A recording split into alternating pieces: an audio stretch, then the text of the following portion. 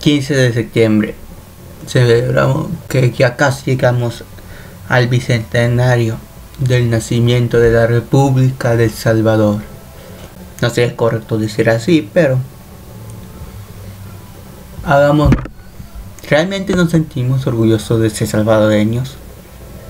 ¿Realmente te sientes salvadoreño? Es la pregunta que deberíamos de hacernos. ¿Realmente te sientes, no sé, un vínculo emocional con este, esta tierra? La mayoría no, no sienten ese vínculo.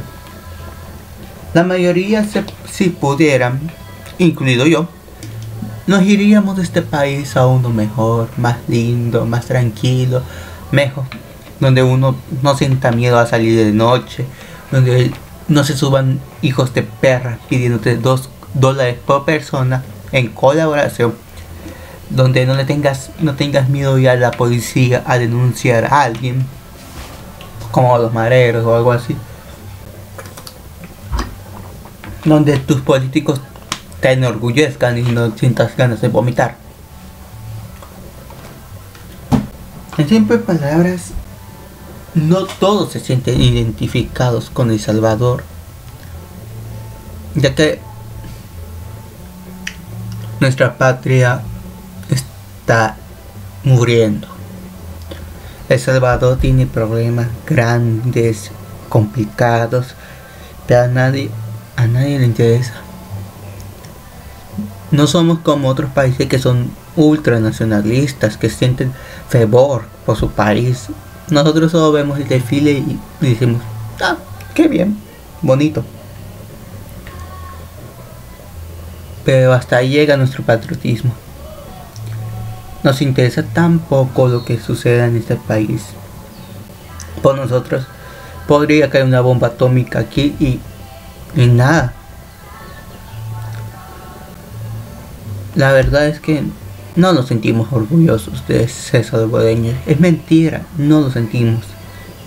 La mayoría ni siquiera le darían una oportunidad al país. Y es por eso que El Salvador siempre será El Salvador.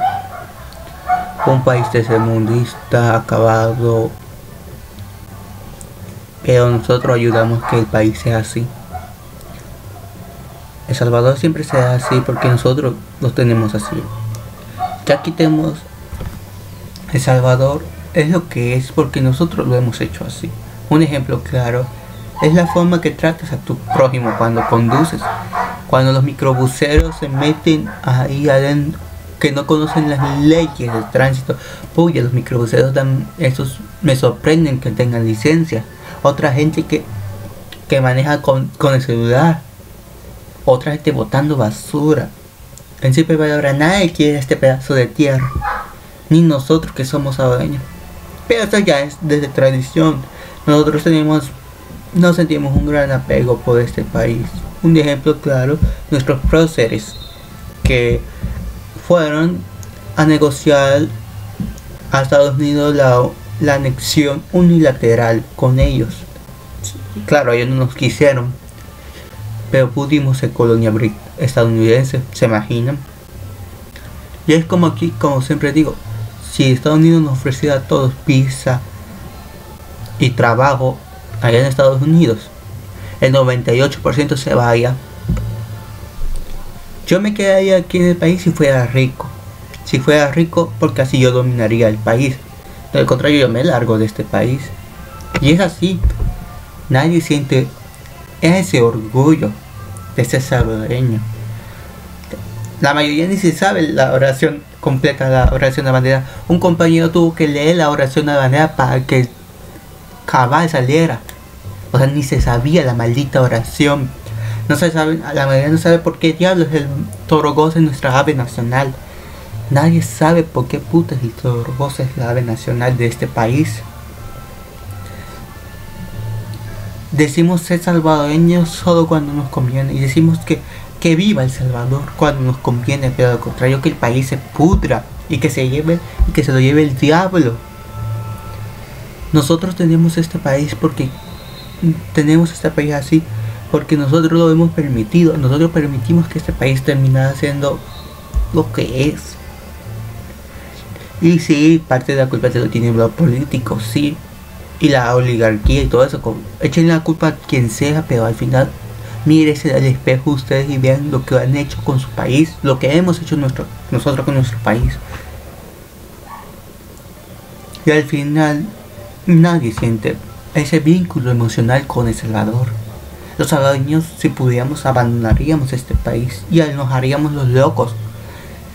Si pudiéramos largarnos de aquí, lo haríamos. Y que Dios cuide a esta gente, que los que se queden aquí. Es por eso que cuando oigo que dicen viva El Salvador, yo digo, sí, claro. Pero si pudieras largar de aquí, como yo lo haría, o sea, tampoco les voy a decir a ustedes que yo no lo haría. Si yo me, si me voy a un mejor país que este, ¿quién nos seguiría? Pero el problema es que somos tan indiferentes a los problemas de Salvador. Hay que comenzar a entender que El Salvador no va a salir de lo como está sin nuestra ayuda. De justo no tenemos que hacer que cada día valga la pena. ¿De qué sirve ser independiente si no podemos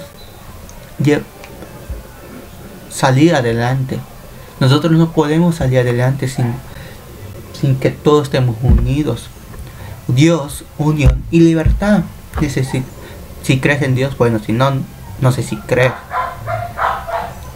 Yo dudo, a veces dudo de Dios, pero necesitamos algo que nos inspire para que nos una y poder así defender nuestra libertad.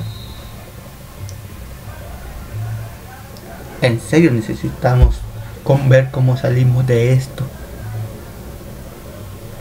Porque si no, ¿de qué sirve celebrar los más de 190 años que tiene este país?